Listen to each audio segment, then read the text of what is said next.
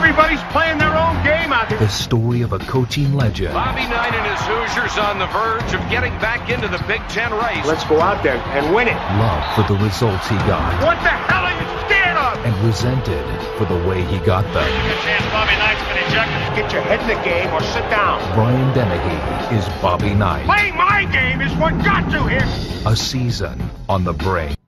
All right, ladies and gentlemen, and um, a season on the brink based on the wonderful best-selling book and a book that was a million times better than the movie, in my opinion, uh, by John Feinstein. And John Feinstein, New York Times best-selling author. You've read him, you've seen him, you hear him, you watch him.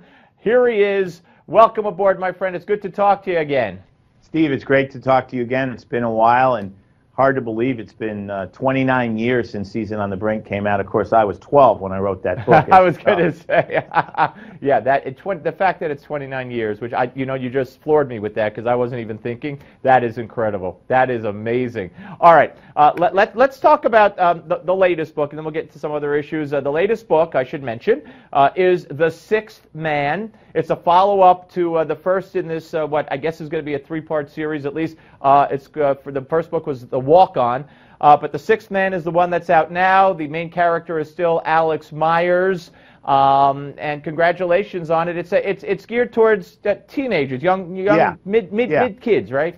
Right, sort of uh, middle grade and up, uh, Steve. Uh, the books, it's been interesting because this is my ninth kids mystery, and obviously they are geared for kids, but a lot of adults seem to like to read them, maybe because they're fairly easy to read if you're a, an adult. But they've been a lot of fun to do because they've involved my own kids who have helped me along the way trying to make the characters sound like kids in the 21st century, since clearly I was never a kid in the 21st century. Join the club. Uh, all right, so let me let me ask you. Um, in, in this book, um, a, a character comes on who's kind of the, becomes the star of the basketball team, high school basketball team, and and the character comes out as gay. And and you know, I, I, I got to admit, I haven't read the book. Okay, I haven't read the book, but I've, I've heard you talk about it, and I, I just wonder. You, you said something to NPR the other day that uh, you're not trying to be preachy, uh, but you wanted to to separate right from wrong. How is one's version of right from wrong and you know not being in other words if you believe you're right and there's only one right and one wrong on this kind of an issue how how can you avoid being quote unquote preachy Well, I think the po- point I'm making is if you read the book, and, and obviously you haven't, but I don't try to pass judgment on whether it's good to be gay or bad to be gay. It's simply a fact of life that many people in our society are gay. The same way there are many people in our society who are African American, there are many people in our society who are who are Muslim, there are many people in our society who are Christian, many who are Jewish. I'm not passing judgment on that. What I am doing is, and you know this, Steve, because you were you were in sports for a long time, is trying to say that the last bastion where it's been sort of okay to gay bash, and I know this from my experience as an athlete myself and having covered sports for so many years, has been sports.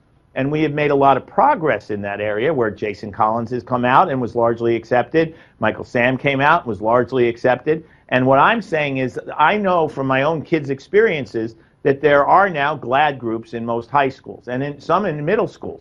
And that's good. That's progress. That kids are now being told you can be yourself and it's okay to be yourself. That's what I'm saying is right, Steve. okay I, and, right I, and I don't think and I, and I don't have an argument with that and certainly Right. there's nothing wrong in any sense that, and i'm not implying it with being gay uh, and those those groups they're in my kids high school as well course they are. Uh, but but we- we're, we're in a situation in this country where a lot of people believe their their religious liberties are are being Mm-hmm. threatened uh, because if they object to baking a cake, renting out a hall, um, you know, providing a certain or service, religious service to Mm-hmm. a, a gay couple, uh, they're going to jail. They're losing their businesses, and a lot of people believe that this is against you know freedom of religion. So I'm just saying this is a very touchy topic where it, it just seems to me that a conservative book of this kind couldn't come out kind of kind of stressing religious liberty, kind of defending a player's right to object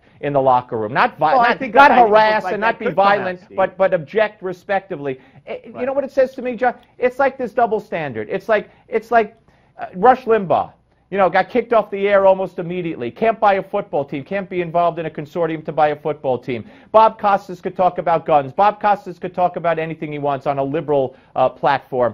Um, you, you, have people like Mike Lupica, big liberal when it comes to politics, writes front page of the Daily News. Until recently, ESPN Talk Radio, sports. You could do sports if you're a liberal. You can't do sports if you're a conservative. Would you agree? No, I wouldn't agree. I think you can do sports if you're a liberal, and I think you can do sports if you're a conservative. If Bob Costas was as good as he has been for all these years uh, on television, and he had a conservative viewpoint on guns, two things would happen. A, he'd be allowed to talk about his position on guns, and B, a lot more people would probably agree with that position than would disagree with that position. Now, people objected when he talked about guns on, on, a, on a football game, but it was in light of a football player being involved in a gun related incident. That, and that particular team was playing in the game that night.